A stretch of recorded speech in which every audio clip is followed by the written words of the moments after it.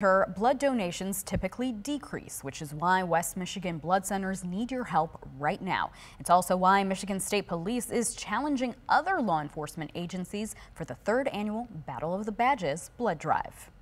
During the holiday season, when the weather gets colder and the snow starts to fall, crashes on the roads become more common.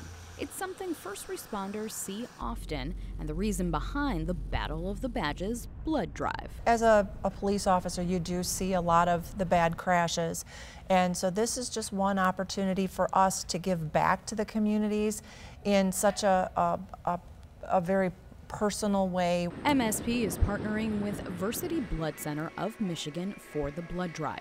There is a critical need right now. We are going into the holiday season.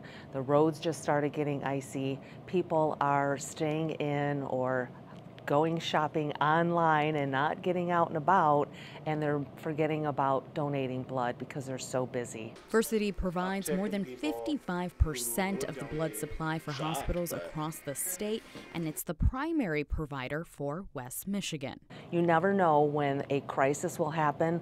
We get that all the time from our hospitals. They call us in the middle of the night saying we have a what we call a mass transfusion protocol, and we need to get them 50 or 60 units of blood stat.